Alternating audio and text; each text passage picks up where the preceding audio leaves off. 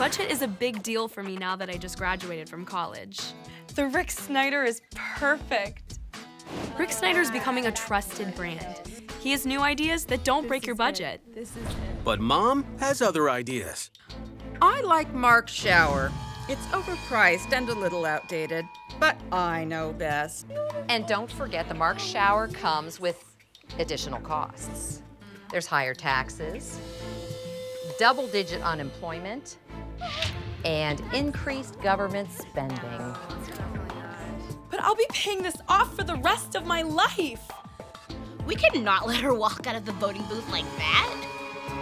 Mom, this is my decision. And I see a better future with Rick Snyder.